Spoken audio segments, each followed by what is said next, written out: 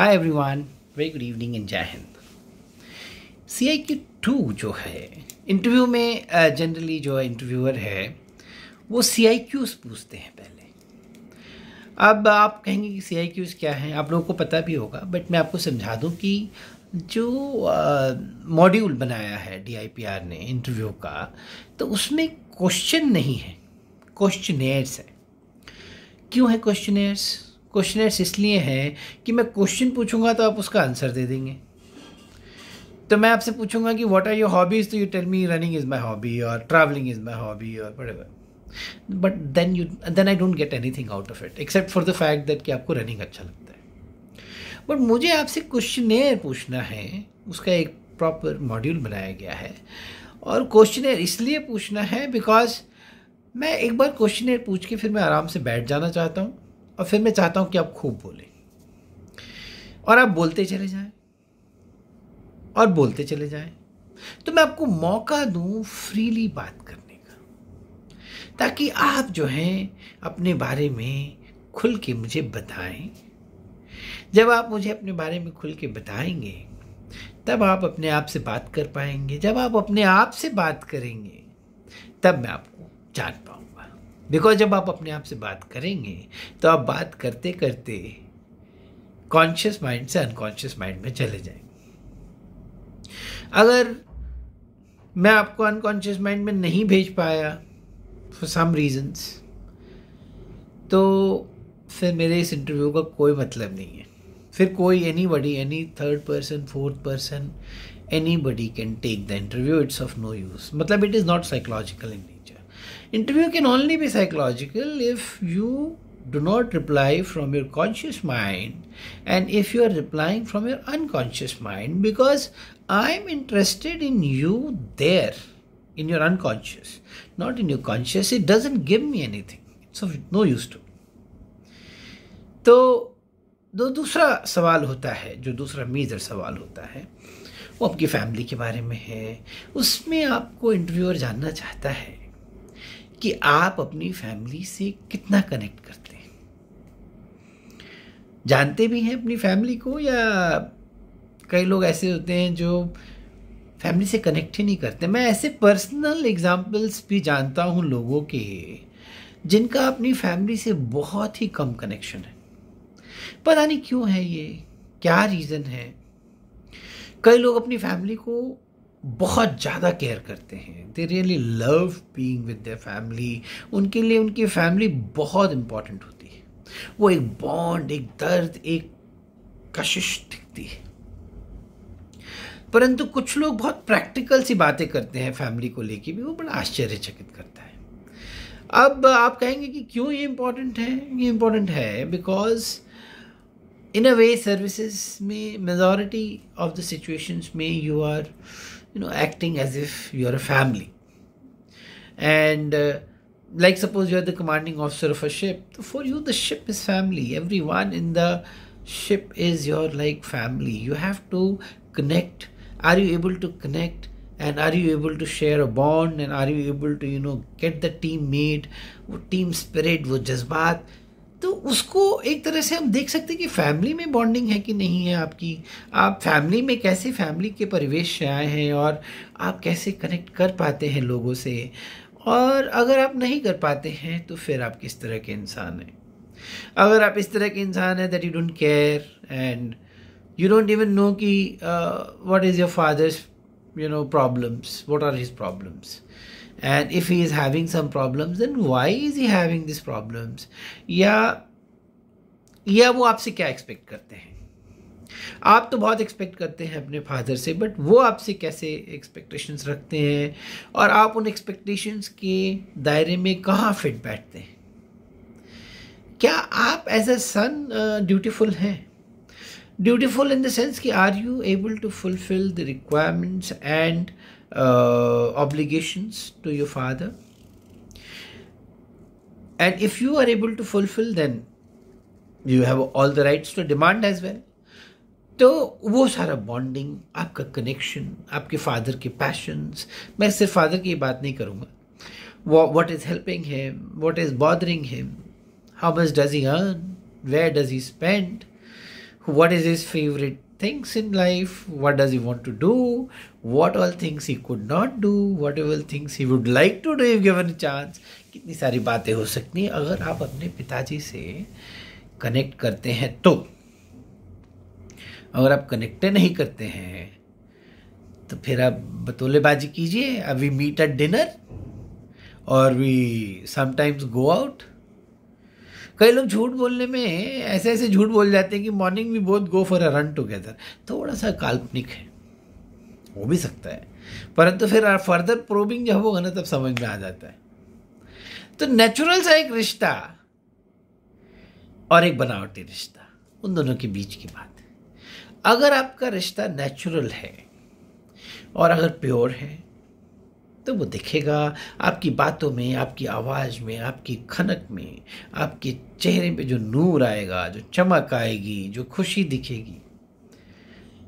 और अगर तो ये गेम है मतलब आप झूठ बोल रहे हैं तो फिर वो भी दिखेगा। झूठ इंटरव्यू में बहुत नेगेटिव जाता है। आप भले सच बोलिए और बोल दीजिए कि नहीं आता है परंतु अब झूठ बोलेंगे ना, मैं आपको बता रहा हूँ it it's evidently evident it's visible it's seen तो आप झूठ मत बोलिए। तो आप इसके आगे चलते हैं। सिमिलरली आप मदर से कैसे कनेक्ट करते हैं? कई लोग मदर को, मैंने ये ऑब्ज़र्व किया है प्रैक्टिकल लाइफ में भी इंटरव्यूज़ में भी, उनको सोचते हैं कि उनको कुछ नहीं आता है। बहुत बड़ी भूल करते हो। आफ्टर ऑल उनका भी एक लाइफ रहा है। मान लीजिए वो बहुत शिक्षित नहीं है। मान लीजिए वो होम मेकर है। उनके एक्सपीरियंसेस का पिटारा बहुत बड़ा है। और उन्होंने जीवन को जितनी क्लोजली देखा है, हो सकता है आपने उसका लेस मात्र भी ना देखा हो। आपको उस चीज़ का एहसास है? आप कनेक्ट कर पाते हैं उनकी इस विचारधारा से? या फिर आपके लिए वो एक मात्र कुक हैं जो खाना बनाती हैं।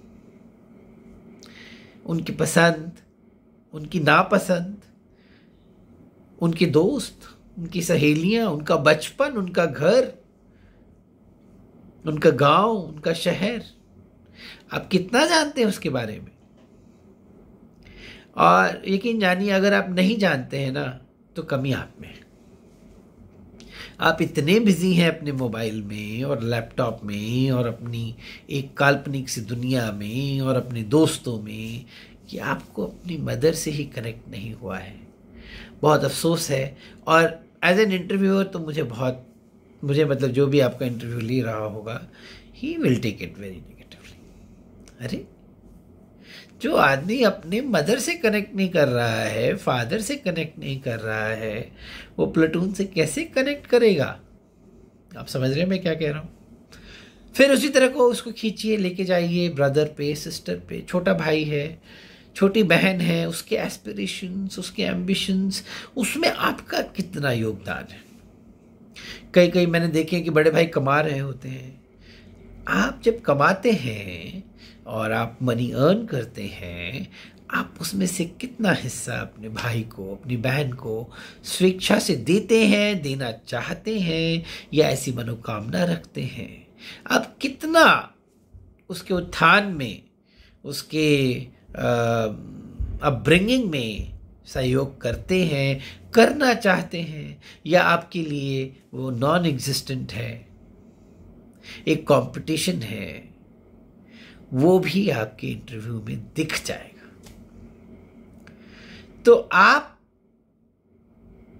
you know think start from family I need not to tell you कि आपकी अपब्रिंगिंग आपकी पर्सनालिटी का जो अपब्रिंगिंग हुआ है, जो प्रादुर्भाव हुआ है, जो स्टार्ट हुआ है, घर से things begin charity begin at home so things have actually begun at home how well do you connect to your own home or you don't connect. If you don't connect, then you are basically having some issues. It can be rather brought down to you know your uh, ability to you know social social intelligence पे आ जाएगी बात social effectiveness पे भी बात आ सकती है आपकी openness to experience पे भी बात बहुत जगह सारे ओएल क्यूज में बातें जाएँगी बहुत इंपॉर्टेंट ओएल क्यू है कई लोग, कई बार मैंने देखा कि सी आई क्यू वन बहुत अच्छा है एजुकेशन दिस दैट स्पोर्ट्स बढ़िया फैमिली में फंस जाता है बंदा। He has issues social adjustment ऐसा फंसता है और उसमें उसके ऐसे ऐसे ट्रेट निकल के आते हैं। कई कई बार मैंने देखा है कि सेल्फिशनेस यही निकल के आती है फैमिली में ही दिख जाती है। फिर उसमें बात करते हैं वो लोग कि इसी में आगे बात है नेबरहुड के बारे में, कि आप नेबरहुड से कनेक्ट करते हैं कि नहीं करते हैं? मतलब नेबरहुड आपके लिए क्या है? आपके लिए neighbourhood just a place to stay है या इट्स योर ओन प्लेस मतलब do you connect to the people around you in the immediate vicinity it may be old elderly people it may be young children it may be people of your age do you wish to connect to them do you aspire to connect to them do you make an effort to connect to them और you don't most of the time I have seen answers like you know people telling कि sir मेरी age का तो वहाँ पे बच्चा ही नहीं है मेरी एज का कोई है ही नहीं ये साफ़ साफ़ दर्शाता है कि आप जो है, एक डिसकनेक्टेड सी लाइफ अपने नेबरहुड में जी रहे हैं और आपको कोई ज़्यादा परवाह नहीं है। तो इस तरह का वातावरण में अगर आप पले हैं और पल रहे हैं और आप हैप्पी तो आपको थोड़ा सा आपके सोशल एडजस्टमेंट इश्यूज़ पे अगेन ये जा सकता है और जाएगा। फिर इसमें बात होती है कि आप कैसे अपने आप को सस्टेन करते हैं फाइनेंशियली पॉकेट मनी लेते हैं, नहीं लेते हैं। मोस्टली तो पीपल ये रिप्लाई करते हैं, सर, मैं तो पॉकेट मनी मुझे को मिलती नहीं है बट जो मिलती है वो मैं, जब ज़रूरत होती है तो मांग लेता हूँ। यूजुअली हर घर में यही होता है। बट कई लोग को मिलती भी है और वो बताते हैं और बड़े वृतांत तरीके से बताते हैं कि सभी चार हज़ार रुपये मिलते हैं, इसका मैं ये करता हूँ, उसका मैं ये करता हूँ, बड़ा अच्छा लगता है फिर। तो उसमें, उसी में से पैसे बचा के मैं अपनी माँ के लिए चॉकलेट ले आता हूँ, ये ले आता हूँ, छोटे भाई के लिए कुछ ले आता हूँ। ये सारी चीज़ें, आपकी कनेक्शन को बॉन्डिंग को, आपकी ऑर्गेनाइजिंग एबिलिटी को, आपकी यू नो मेडिकलसनेस को बहुत चीज़ों के बारे में बता सकती है। फिर कई वर्किंग कैंडिडेट्स हैं, वो अपने पैसे कैसे खर्च करते हैं? कई लोग यू नो अपने पे ही सारा उड़ा देते हैं तो ये खरीद लिया तो वो खरीद लिया तो गाड़ी खरीद ली तो म्यूचुअल फंड में कर दिया तो ये। अरे तो मम्मी को कुछ दिए कि नहीं दिए? सर, एक बार गिफ्ट दिए थे। बताइए। छोटे भाई को कुछ दिए थे कि नहीं? सर, माँगता है तो दे देता हूँ। मांगेगा और दे देंगे। और एक अपनी मर्ज़ी से आप देंगे। अरे, आप बड़े भाई हैं। तो आपको कभी कभी फील होता है कि मैं बड़ा भाई हूँ, मेरा छोटा भाई इंजॉय करे, थोड़ा खुश रहे, थोड़ा घूमे, फिरे, थोड़ा यारों दोस्तों के साथ जाए पार्टी करे। वो भावना आपके जहन में अगर आती है तो आप एक अलग तरह के इंसान हैं। और अगर आप सोचते हैं कि मैं सारा पैसा अपना बचा लूँ और आज के पचास साल के बाद की चिंता अभी से शुरू कर दूँ तो आप एक बहुत अलग तरह के इंसान बेसिकली सेल्फिश है तो बहुत इंपॉर्टेंट सी आई क्यू है। इसके बारे में बात तो अनंत तक जा सकती है। समझने का मतलब ये है चैरिटी बिगिनस एट होम आप इसी चीज़ को इससे को रिलेट कर दीजिए, शायद रावण नहीं मरता अगर विभीषण नहीं होता। तो it was Vibhishan actually killed Ravan. घर में बहुत कुछ है। घर से ही आप बाहर निकले हैं। घर में आपका क्या योगदान है? घर आपको कैसे लेता है? आप घर को कैसे लेते हैं? आपके बारे में शत प्रतिशत बातें निकलती हैं वहाँ से। और बातें करेंगे इंटरव्यू टेक्निक के बारे में भी साइकोलॉजी के बारे में भी पर्सनैलिटी के बारे में भी। आप बताइएगा कोई टॉपिक जिस पर हम और बात करें और मुझसे आप जुड़ना चाहें तो जुड़ सकते हैं। मेरी ऑनलाइन क्लासेस भी चलती हैं, उसमें बहुत लोग आते हैं, पढ़ते हैं, उनको बहुत अच्छा लगता है। एस क्लियर करते हैं। एस एस बी परस्पेक्टिव से भी पर्सनैलिटी परस्पेक्टिव से भी। और आप मेरा निवेदन है, इस चैनल को ज़रूर सब्सक्राइब कीजिएगा और इसको शेयर कीजिएगा। मेरा आपसे रिक्वेस्ट है। एंड बताइएगा मुझे कि आपको कैसा लगा ये वीडियो थैंक यू एंड जय हिंद